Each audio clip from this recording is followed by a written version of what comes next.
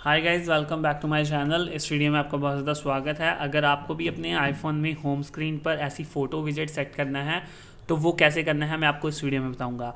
सो so, बिना time waste किए video को शुरू करते हैं। सबसे पहले फ़ोटोज़ ऐप में जाओ।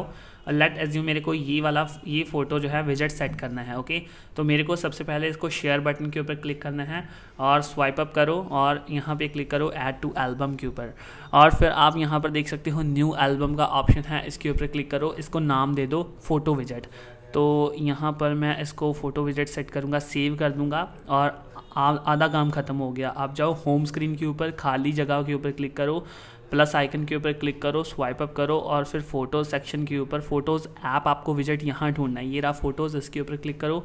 फीचर में नहीं जाना है, आपको जाना है एल्बम के ऊपर। ये रहा एल्बम वाला ऐड विज़िट के ऊपर क्लिक करो और अब क्या करना है, ये जिगलिंग मोड में है अभी, इफ़ेक्ट, इसके ऊपर क्लिक करो। आपको ये फेवरेट शो रहा है, इसको सिलेक्ट करो और आपको यहाँ पर फ़ोटो विज़िट, जो आपने एल्बम का नाम बनाया ना, उसको सिलेक्ट कर लो और दैट सेट अब आपकी वो फ़ोटो जो है, आपको यहाँ शो हो जाएगी और काफ़ी आसान मैथड था। सो आपको ये मेथड कैसा लगा? आपको अगर कोई भी प्रॉब्लम आ रही हो ना, कमेंट सेक्शन में ज़रूर पूछ लेना। और इस चीज़ के लिए आपका आईफोन आई सेवनटीन पर अपडेटेड होना बहुत ज़रूरी है।